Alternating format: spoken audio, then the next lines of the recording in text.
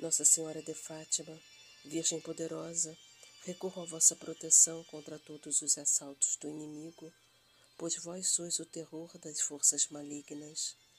Eu seguro no vosso manto santo e me refugio debaixo dele para estar guardado, seguro e protegido de toda a violência que, principalmente nos dias de hoje, nos assaltam. Mãe Santíssima, refúgio dos pecadores, vós recebestes de Deus o poder de esmagar a cabeça da serpente infernal e afugentar os demônios que querem acorrentar os filhos de Deus.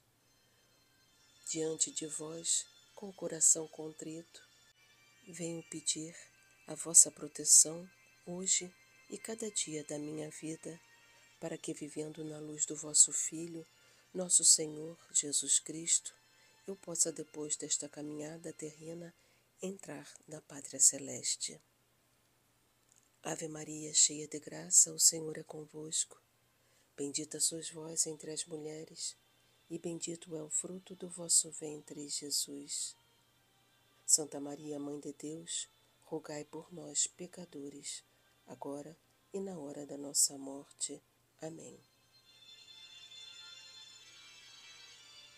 Glória ao Pai, ao Filho e ao Espírito Santo, como era no princípio, agora e sempre. Amém. Nossa Senhora de Fátima, rogai por nós. Ó Virgem Santíssima, vós que aparecestes repetidas vezes às crianças, eu também quisera vê-la, ouvir a sua voz e dizer: Mãe minha, levai-me ao céu.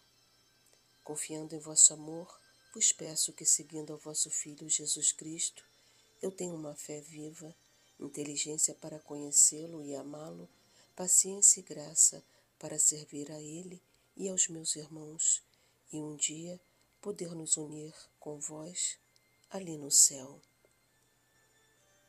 Ó Maria concebida sem pecado, rogai por nós que recorremos a vós.